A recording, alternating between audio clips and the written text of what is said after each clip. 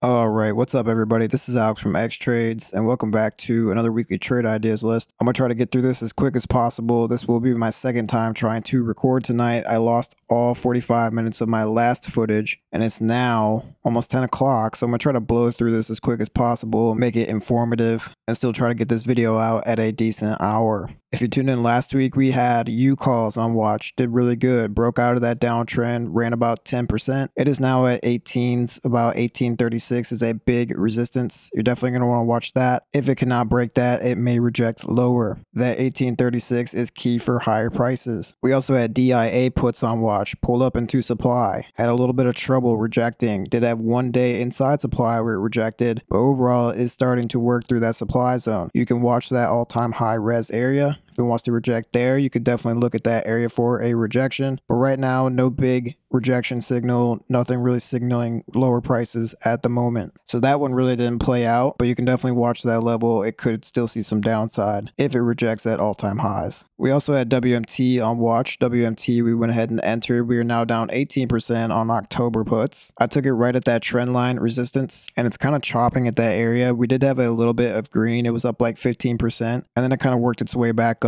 It's not really in that distribution phase yet. There's not really any supply or sellers just yet, but overall, it's still pretty overbought, and it could start seeing some sellers eventually. All right, not two trades last week. We took WMT puts. We only took three last week. You can see WMT puts. We took the 75 for October. We do have the machine learning filter showing us a 74% chance of being profitable. It did go in the green about 15%. Right now, down about 18%. We have two months left, so no biggie. We also took SPY 557 calls, took a scalp, made about 23% on that. Also took 558 calls, another scalp, about 21% on that. Really, all we did was trade against this open SPY 550 put position we have open right now. So we made back a little bit of P&L from this loss that is unrealized at the moment. So I'm staying in this SPY 550 put. I only have one contract. We made a little bit back on that, so that kind of canceled out a little bit of the red. I'll probably keep trading against it with calls if I see the market is bullish. I'm not really biased. I'm not really worried about doubling down on this. I don't like to add to losers. I'll just trade against it, try to make some of the money back while keeping it open, staying hedged on the market. So only three trades open last week. One open swing that is fresh, that is WMT, and another one a couple weeks ago, SPY 550 put. All right, now to the economic calendar. We only have one important thing on Tuesday. It's going to be consumer confidence. Not really worried about durable goods orders or Fed Daly. She doesn't really move the market. We also have Nvidia earnings on Wednesday, along with a Raphael Bostic speech. It's going to be after hours, but most importantly, it's going to be Nvidia earnings. It's going to move the market huge, more than likely. Thursday, we have initial jobless claims. You can definitely pay attention to that. I don't think the impact is really going to be that high, but you can definitely pay attention. Most importantly, is going to be that GDP. It's going to be at 8:30. Definitely want to pay attention to that. And then on Friday, most importantly, is going to be PCE. This is the Fed's preferred inflation gauge. You want to see that continued trend in inflation lower. We want to see it coming in below forecast or right in line. So we want to see that 0.2, the 2.5, and the 0.2 either all in line or a little bit below that for all three. We also have consumer sentiment at 10 that can definitely move the market and also a PMI reading at 945. So the three most important things will be the Nvidia earnings. We have PCE and also GDP. Second most important, probably consumer confidence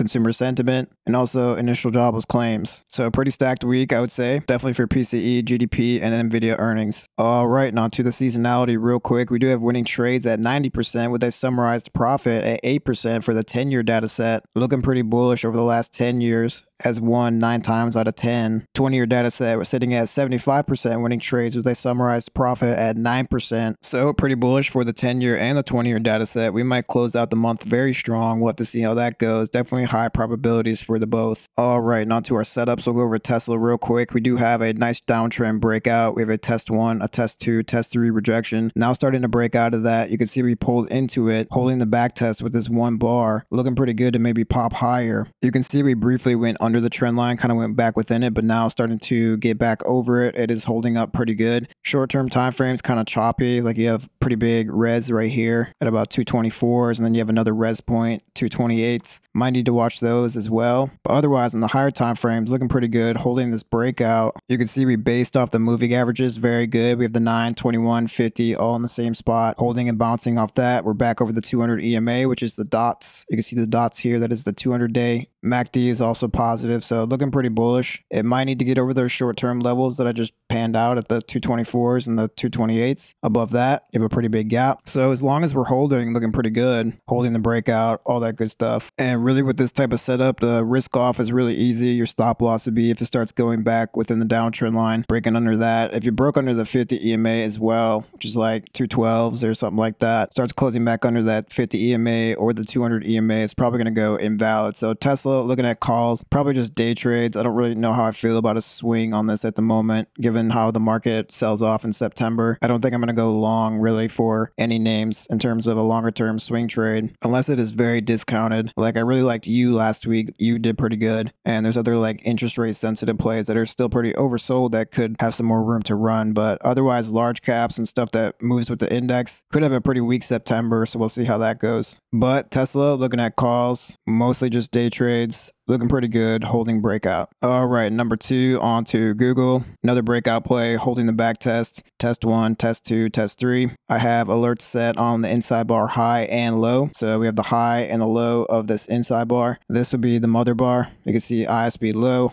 ISB high. So we're going to wait for that ISB high to get taken out. If we start breaking over 166, there's a pretty good chance we can run a little bit higher here. Looking pretty good. And just like Tesla, you can see if we start going back within the downtrend, that's kind of when the setup could go invalid. So you want to watch that downtrend. Make sure we're staying outside of it. Make sure we're staying broken out and that could be pretty good for some upside. We probably will need to get over this one day 921 EMA cloud as well. So this little red area has kind of been turbulence. It's kind of been struggling there. We need to get over that. If you can get over that, you can get up to the 50 EMA right here at about 170. So Google looking at calls, day trades over 166. That is the inside bar high. I want to see it breaking out of that right there. We also have MACD positive, so that's a good sign as well. As long as MACD is holding, there's some chance it could get some momentum here. Really just needs to get over that ISB high, can get up to the 50 EMA so on and so forth. Just make sure it's, you know, holding the breakout and it should be pretty good for right now. But looking at day trades on this, probably no swing trade at the moment. Google looking pretty good. Just needs to get over that 166 level. All right, and for number three, we're going over FXI. You can see it's a pretty clear breakout setup, same as Tesla and Google. Risk off will be really simple. If it starts going back within the downtrend, you could probably stop out. You also have a pretty good base out here. So you can see the 921 EMA combo. The cloud is green. You have the 50 EMA and the 200 EMA kind of all in the same spot. That's where it kind of based and bounced right there. So as long as that base is holding, FXI looks pretty good. Obviously, this is a Chinese ETF, so it's going to move with the Chinese large caps, probably like Baba, Baidu, stuff like that. It's pretty subject to volatility, so lots of gap ups and downs, and that makes it a little bit harder to trade. So you probably want to go with October expiration minimum. Might even be smart to go with January or December to catch those good consumer spending months. You know, November, December, January, those are all pretty good for holidays and consumer spending. But overall, as long as we are holding outside of this downtrend, looking pretty good to go up a little bit higher, you have a gap right here and some room up to 2760. So FXI, I do like this one as a swing trade. Just buy time on it. Like I said, large caps like Tesla and Google, a little bit more sensitive to the indexes, which might have a rough September if we follow the September seasonality to the T. And forgive me if my voice sounds weird. I spent 45 minutes recording my last clip and it got deleted, so my voice is just fed up with me and I'm trying to get this done at a reasonable hour. I still have to edit, upload, type out the trade ideas list for people who don't watch and all that good stuff. So, all right, on to the indexes. We're going over the SPY real quick. So last week we really just focused on 455. I wanted to see a pullback from there. It just did not happen. First thing Monday, we broke out of it, closed over it. It did make good support and a good back test level here on Thursday.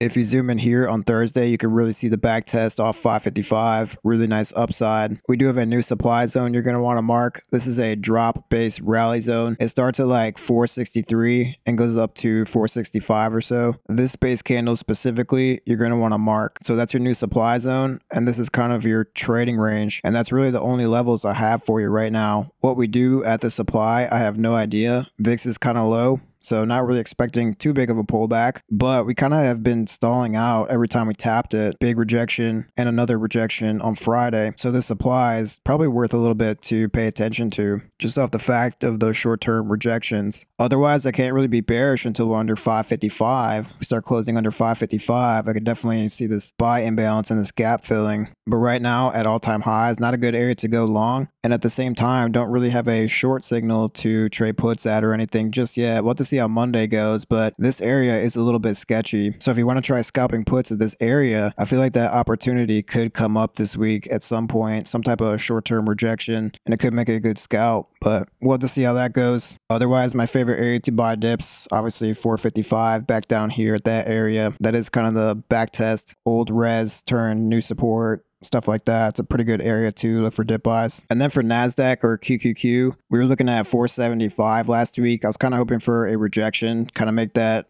inverse head and shoulders, reject here, make the second shoulder. You got a shoulder, head, shoulder. I was kind of hoping for that scenario. We haven't really gotten that, so might not play out. But overall, once it broke over that 475, that takes you to the next kind of peak area, and that was at 484.43, or this little rejection zone that led to this big down candle right here. We can even zoom in. I'll show you real quick. Here's that rejection. The first one at 484.40s right here, and then your second on Thursday, which is a very big one off of that 484.43s. And then here's your back test at 475s, kind of like the SPY 555. It kind of back tests this area right here, got back over it, nice bullish momentum, came back down again, bounced off 475 right there. So that's kind of your range right now, 484.40s, probably just mark 485 as well, down to 475. So that's your trading range. This will be your area to look for rejections, kind of like SPY at supply. And this is your area to look for support or bounces at 475. I really can't get bearish until QQQ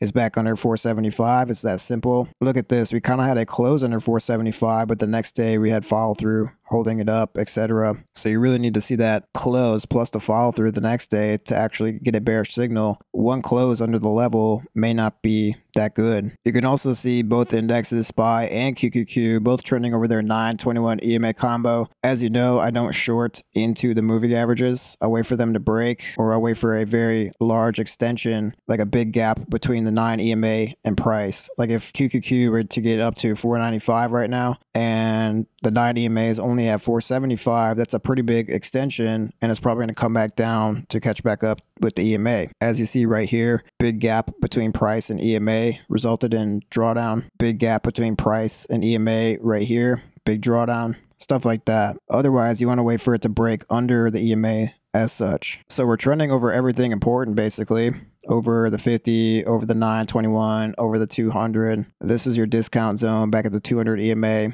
to kind of dip buy, trade back up to the EMA. Once it got to the EMA, kind of got to be careful because it could reject. But once we start closing back over the EMA, you can start going long again. And that's kind of what it's showing you right here. But yeah, that's really it. Just the 484 40s, which is this right here. And then 475 50s. That's your peak right here, support right here. There is free space over 485 or that peak right here up to all time high. You also have a gap right there as well. So for some reason next week we can start closing over 485. That is a pretty bullish signal to start filling back up. Kind of like what SPY did over 455. Here's when it closed over 455. It kind of gave you that free space up to all-time high area. Likewise for QQQ, if it stays over 485 or starts getting over 485, there is free space to get up to that area. So NASDAQ's a little bit lagged. SPY is closer to all-time high. Obviously, SPY is more broad, has more industries, more sectors. QQQ, all tech-based, basically reliant on semiconductors and other spaces. Right now, semiconductors are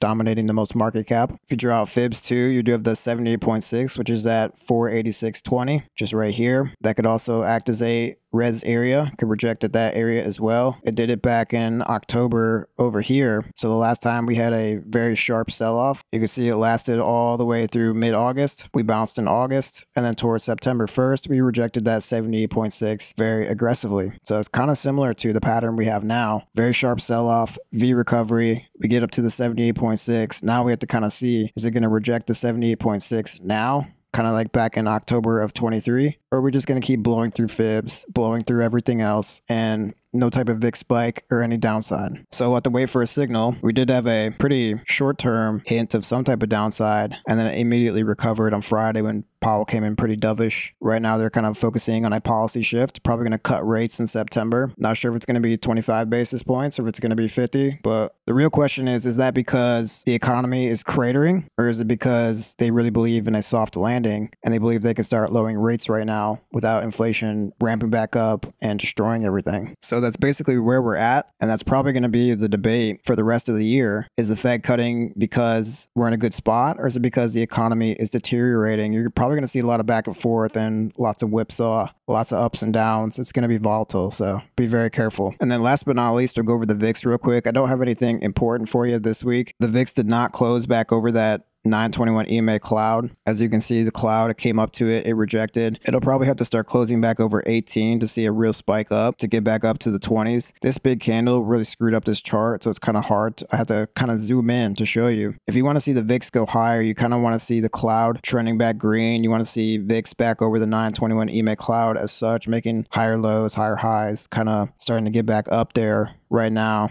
kind of the opposite. We're trending under the 921 cloud. The cloud went back red because that means the 9 is crossing back down the 21. Uh, the 9 has to cross back up over the 21 to make the cloud go green as such. Also closed back under the 50 EMA. We do have the 200 EMA right here. You can see the dots. This is the 200 EMA. We are still over that. So that's a kind of a sign that volatility is still holding a little bit, but 1585 is very low, guys. It's, I mean, anything under 20 is pretty low in my opinion. Right now, volatility looks pretty shaped to go back down. If I were to guess, this is probably going to reject try to come back down to the 1440s. And then if the 1440s breaks, you have a multi-bottom low at 1182, probably closer to 12. So if that starts flushing back down, that is kind of the all-time low for this period right now. And honestly, once it gets back to the 12s, you could definitely start looking for puts that are very cheap. Premiums will be dirt cheap if VIX comes back down to 12. But right now, I kind of have a head and shoulders, right? At a spike, the big crisis spike, and another shoulder right here. So maybe it's trying to come back lower. Not exactly sure. I don't have a signal that it's going to go higher. I just have the fact that it's making a lower high. It rejected aggressively on Friday. And right now, we'll kind of have to see how the market digests Powell from Friday. Are they going to start selling stocks because they think the economy is cratering and that's why the Fed is cutting? We'll have to see. But right now, they basically priced in Fed cuts the whole year. And that's why we've been going up along with AI and Nvidia.